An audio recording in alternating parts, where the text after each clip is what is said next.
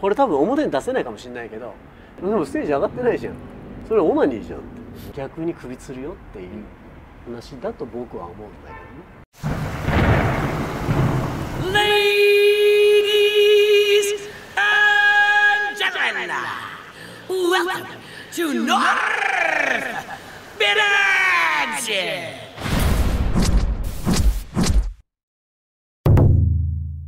それでも今もう重機に関してももう中国製だったりとかヨーロッパ製のものに移行し始めてる。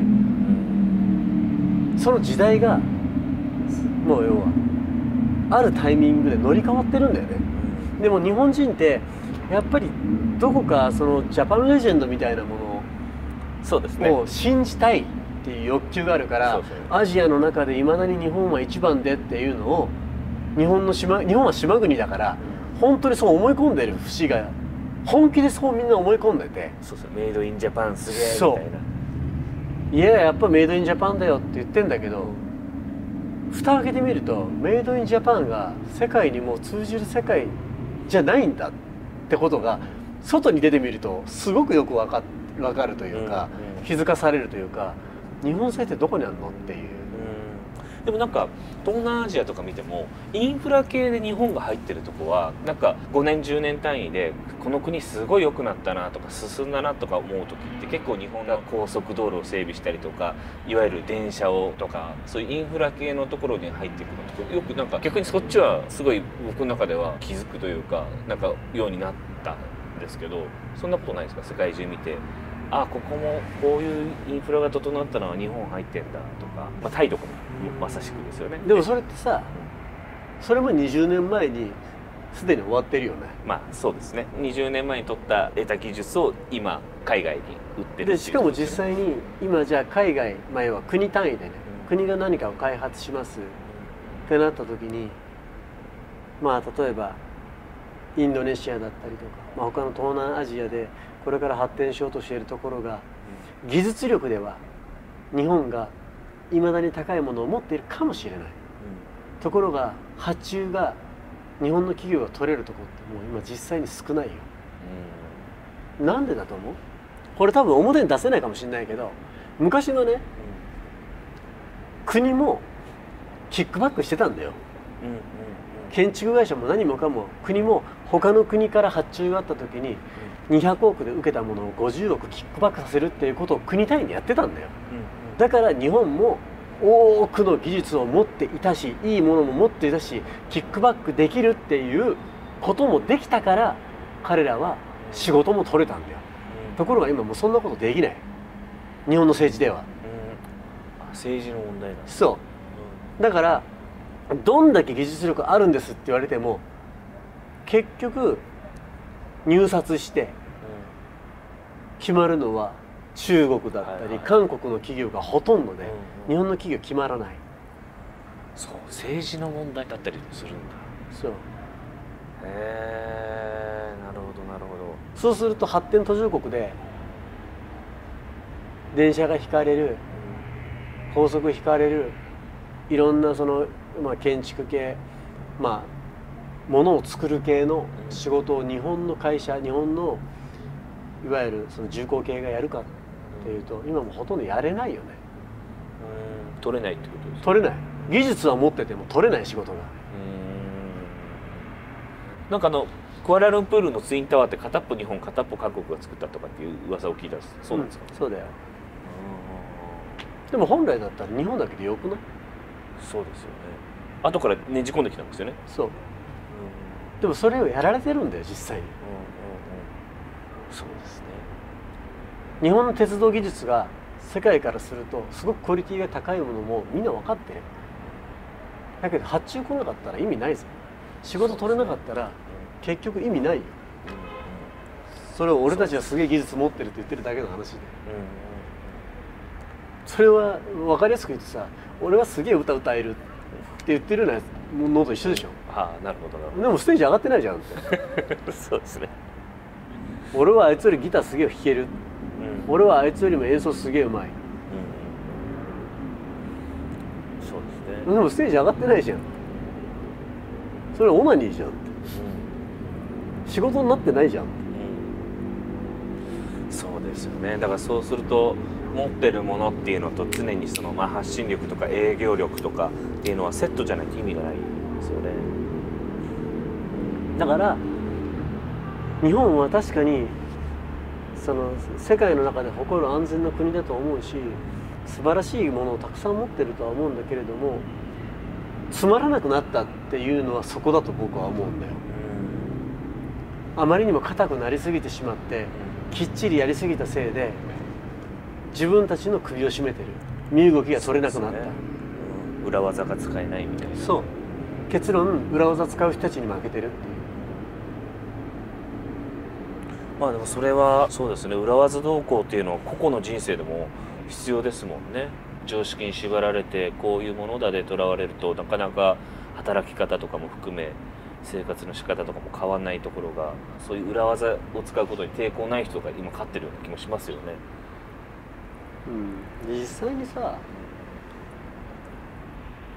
今まで何の疑問も思ってなかった人たちいっぱいいたと思うんだけど朝なん例えば朝7時に起きて、まあ、もしくは8時に出社して、まあ、8時に家を出て9時には出社してってやってた人たち10時に出社してってやってた人たちがこれ家で同じことできんじゃないの？って思い始めた1年だと思うんだよ。気づき始めた1年でこれ仕事会社に行く理由ある？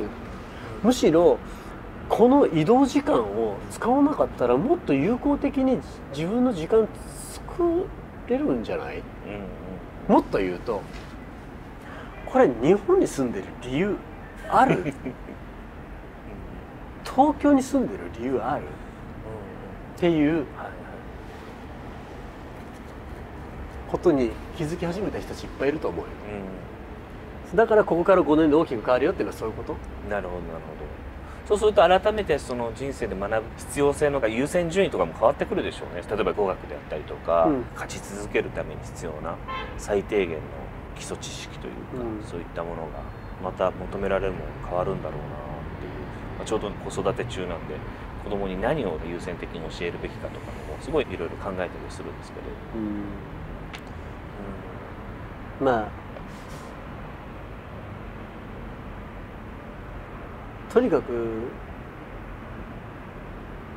この1年でみんなが身に身につけなければならないことというか改めていかに適応能力が大切かっていうことが身に染みて分かったことなんじゃないのかなとも思うしそこにまだ気づいてない人たちは結構やばいよって。だいぶこのコロナのでふるいにはかけられどの道強制的に適応力のない人は分かりやすく淘汰されていってるというか、でね面白いなと思ったのがいろんなデータがあってね。例えばそのコロナによって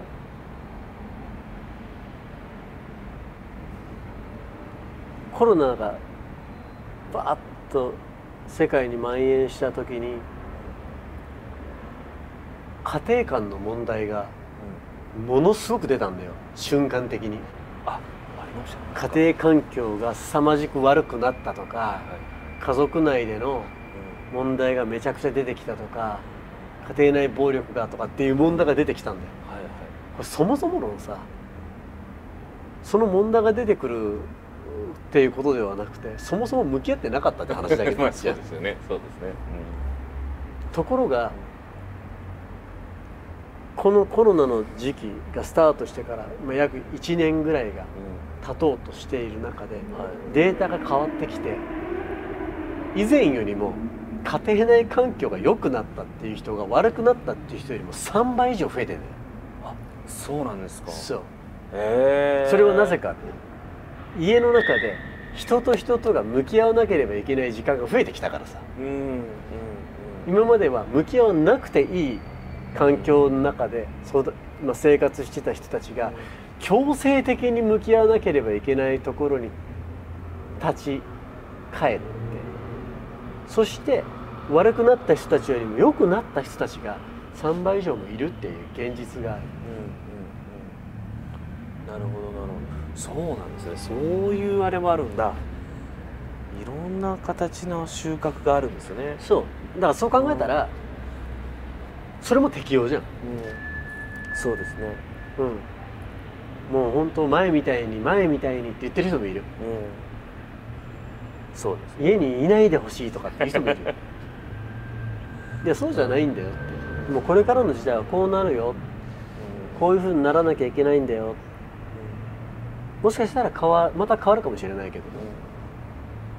それに適応できた人たちが幸せを感じれるわけでそれに適応できてない人たちはまだ不幸せなわけで。分かりやすいよね。そうですね。いや本当そうだと思います。でもなんか今回。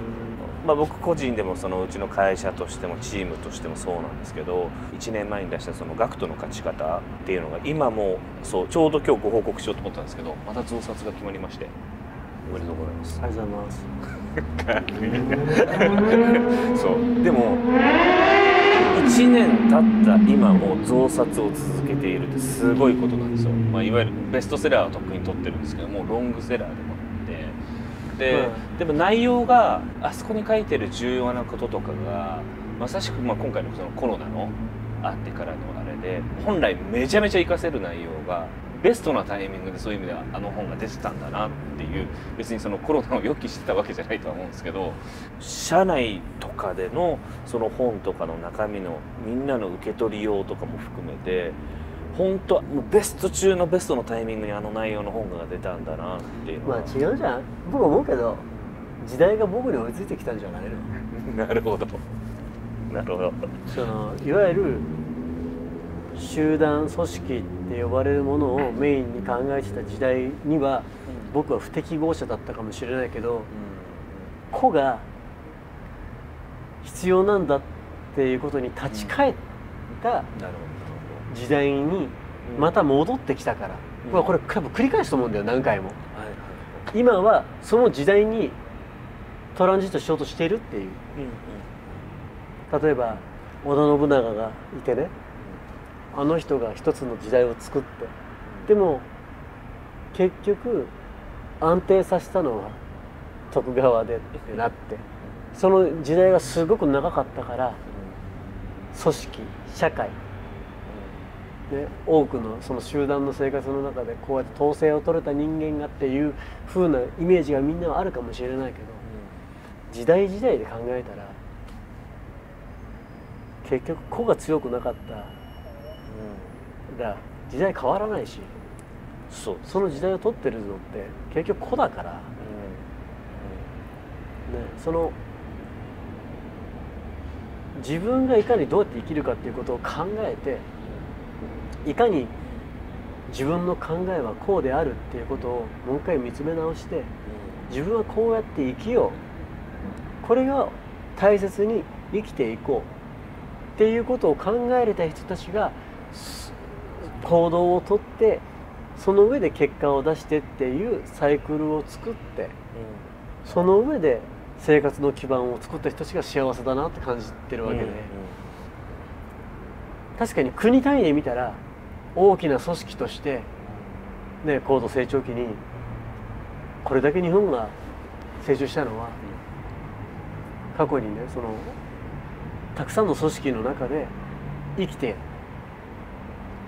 結果を出してきてくれた人たちがいるから日本はあるんだけれども今はまた別の時代に突入しようとしてるんだからそこに今度固執しようとしないで自分たちが新たな時代に生きていくために必要な考え方必要な思考を身につけないと逆に首つるよっていう話だと僕は思うんだけどね。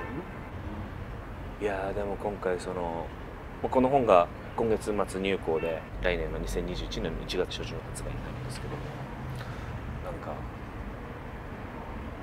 最後の入稿前の制作とかをこうマルタで新しい国でガクトさんとねこういう本の作り方をできるなんてめっちゃ幸せだなって思いながらせっかくなんでなんかここにいる間ちょっといろいろ食事とか含めてなんですけど、ど、ぜひぜひ。なんかガクトの勝ち方は僕相当おそらく世界で一番読み込んでるんでなんかいろんな勝負とかもしていただけると嬉しいなと 思ってなんか。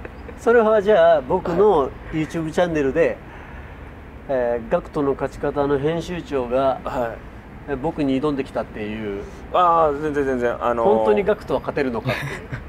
そうですね。ガクトの負け方に変えてもらおうかなっていうぐらいのただまあちょっと先輩じゃないですか。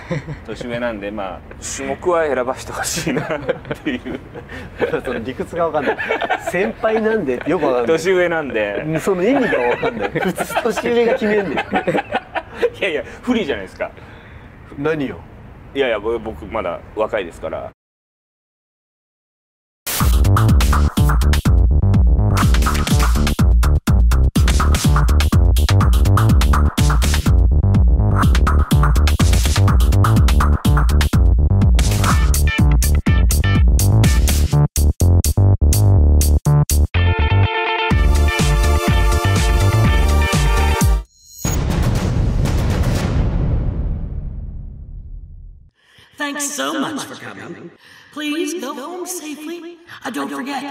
Always walk on the wild side.